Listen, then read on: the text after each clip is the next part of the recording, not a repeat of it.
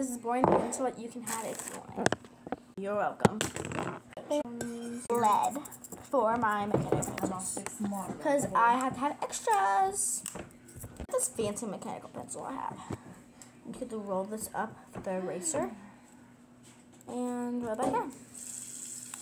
And for the lead, oh, if we're to put the lead in it, you gotta just like, kind of like do it like that. It's in, and then you have to put this in to get let out. Um, feel bad for you for not having a mechanical pencil. So we're gonna give you this yellow one, and it's full of lead. There you go. Your lips are chapped. Take this, Racy.